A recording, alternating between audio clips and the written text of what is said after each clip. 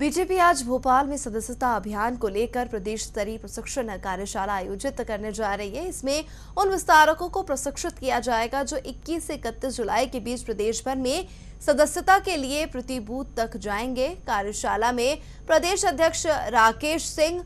संगठन मंत्री सुहास भगत समेत सह प्रभारी पंकज जोशी डॉक्टर कैलाश जाटव उपस्थित रहेंगे